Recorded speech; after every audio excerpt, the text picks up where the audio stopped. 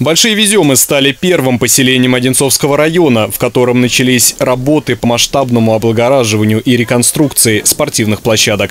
Местные жители ждали этого много лет. Мы занимаемся именно тем, что здесь э, нужно людям. Все говорят о том, что такого внимания действительно многие десятилетия не, не оказывалось э, данной территории.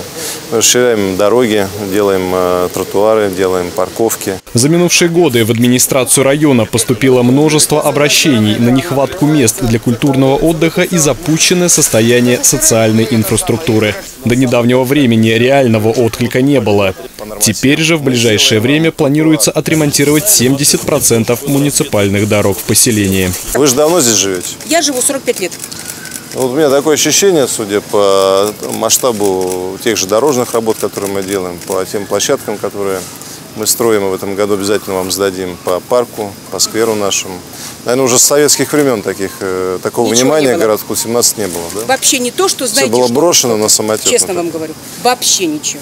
Реконструкции и обновлению подвергаются не только площадки. Не остались в стране и объекты социальной значимости. По парковым э, дорожкам, по лавочкам, по фонарям также отчиталась э, местная власть, тот МУП, который занимается этими работами. И уверен, что к 15 числу, как мы обещали, августа будет э, готов весь парк. В процессе появилась идея поставить еще по центру фонтан.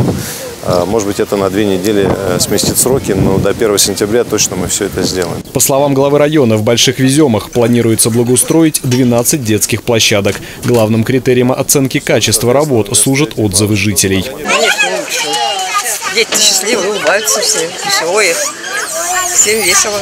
Просто небо и земля по сравнению, что было и что сейчас. Использование в работах сил специально созданного МУПа приводит к существенной экономии бюджетных средств.